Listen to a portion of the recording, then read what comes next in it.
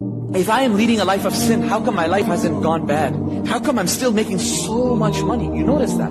People, the people who are sinning sometimes they tell you that, that my revenue only increasing every year. Investments are only doing better.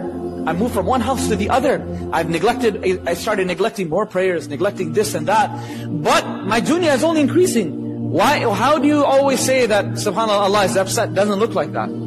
So this, one person mentioned this to a scholar. And he said, when was the last time that you got a chance to visit the house of Allah? When was the last time that you were able to separate yourself from your bed and stand in front of Allah subhanahu wa ta'ala? He said, I can't think of the last time. He said, that is a sufficient punishment. What else would you like?